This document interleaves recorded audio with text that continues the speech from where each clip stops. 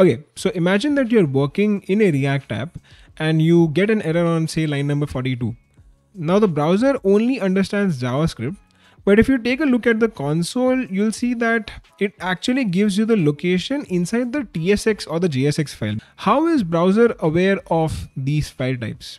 It gives you an error with the exact location, but browser only understands JavaScript. So how is it doing that? So this is where source maps come in. When you run a bundler like Vite or Webpack, your code goes through a build step. All that TypeScript, JSX, modern syntax gets compiled down to plain JavaScript that the browser actually runs.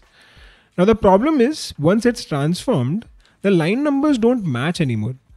So line number 42 in your TSX file might end up as line number 5 in some giant bundle JS file.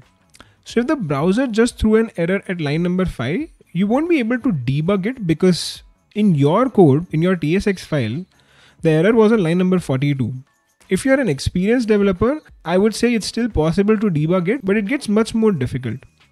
So source maps solve this problem by acting like a translation layer they are basically JSON files that say, hey, this line and column in the compiled JS actually comes from this line and column in the original TSX file.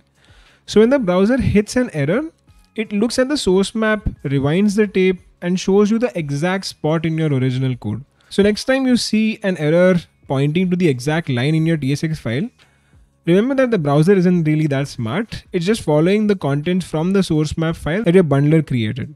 If you want to achieve the same thing in your React app, what you can do is go to your vite.config.ts file and inside the build config, you need to add the source map property and set it to true. So now when you run npm run build, you'll see the actual JS bundle and along with it, you'll also see the source map file generated. But even after all of this, I'm sure you still have one question in your mind. How is the dev server doing it? There's no map file generated for it. How is it that in local we get the exact same error location? So the idea here is still the same, but there's a slight tweak. Instead of creating a separate file, Vite here is going to save the source map in memory and stream it straight to the browser. So there's no new file created, but internally it pretty much does the same thing. The source map is generated on the fly, served over HTTP and DevTools uses it to backtrack errors to your original file. So if I make a typo for this count variable and I go to the browser, when I click on the button, you'll see the exact error location. But if I disable the source maps in DevTools, this is what your original bundle looks like.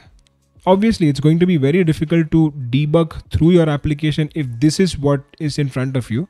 But if it's the exact same file that you have on your code editor, then it becomes a lot more easier.